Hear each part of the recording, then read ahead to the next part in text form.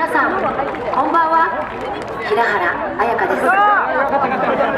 初めてフェニックス花火を見てから7年が経ちますがその時涙が止まらなかったことを思い出します。大きな復興の祈りに心が震えました。今年の長岡大花火大会のテーマは今こそ届けよう感謝と勇気。私も東日本大震災の後東北各地にお邪魔して歌を歌わせていただきました。東北の人たちは辛いながらも一生懸命頑張っていらっしゃいました。私もこれからもしっかりと歌で少しでもお役に立ちたいなと心から強く思いました。大震災から落ちた長岡だからこそ勇気を伝えられるんだろうなって思います。それでは復興祈願花火フェニックス。皆さんの思いを込めて打ち上げ開始です。カウントダウン私